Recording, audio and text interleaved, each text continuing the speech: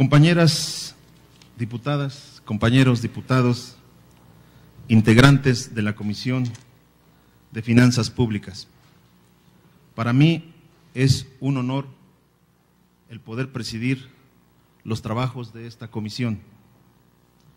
Comentarles que, su, su servidor siempre tendrá la disposición para analizar las iniciativas y las propuestas que se nos turnen.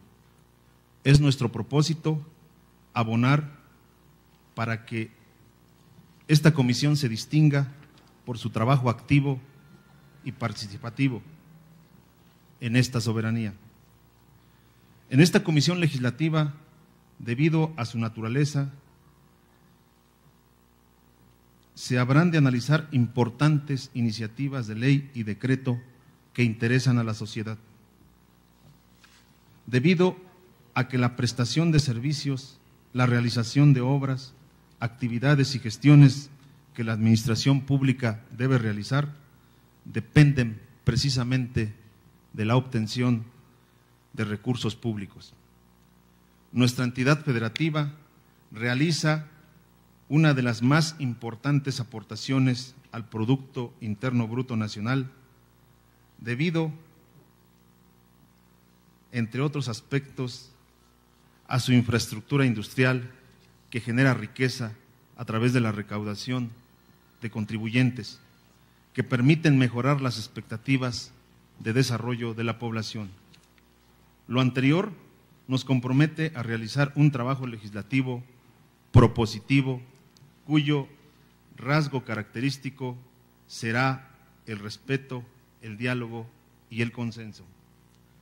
En las próximas semanas tendremos la primera gran tarea que será el análisis del paquete fiscal y el presupuesto de ingresos y egresos del ejercicio fiscal 2013.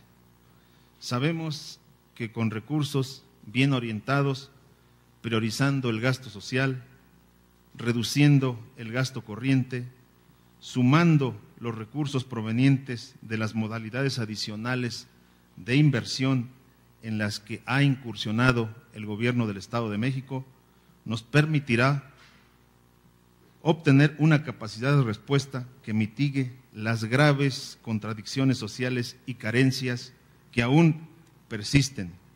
Necesitamos que se potencie nuestra infraestructura y que mejore la calidad en los servicios públicos.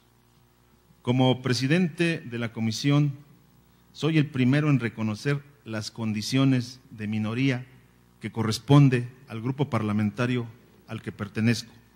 Pero estoy seguro de que en la medida en que antepongamos el diálogo respetuoso, el ánimo propositivo y la deliberación orientada a asumir las disposiciones que más favorezcan a la sociedad, lograremos un trabajo legislativo que armonice nuestra diferencia y punto de vista para beneficio de los mexiquenses.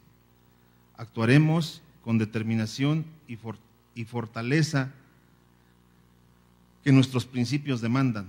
Defenderemos los múltiples proyectos que hemos concertado con la ciudadanía.